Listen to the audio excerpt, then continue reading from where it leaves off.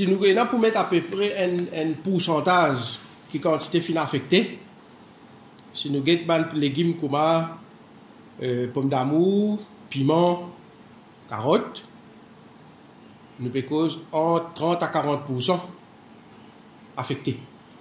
Me letan nou gen sa ban e, legum fin, se ta diye ban fin zeyem, letu, etc.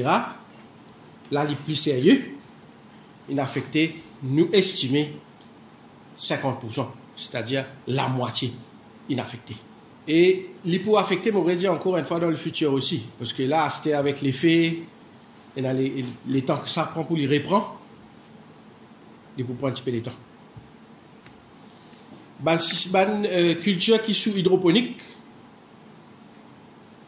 nous faisons une euh, hydroponique et chose aussi, et ban sheltered farming, ça, il y a un peu de dégâts dans le ban shelter, c'est-à-dire ceux qui couverts avec une structure en plastique, là, ça finit un peu de dégâts. Pas beaucoup cependant, mais à peu près, vous estimez, à peu près 15% de dégâts l'eau ban shelter. Production fruits, bien sûr, baissé, surtout mangue. Pour une baisse là, nous pouvons observer à peu près, nous estimer à peu près 10% une baisse sa production là. Donc, en général, l'État prend tout ça en considération.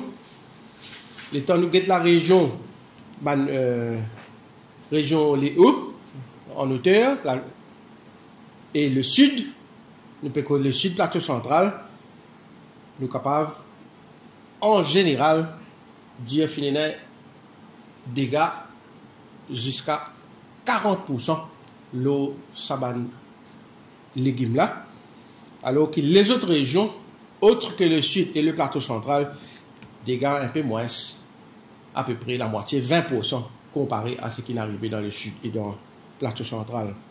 Et dans les nots, il y a un peu de dégâts, mais il n'y a pas sa quantité là.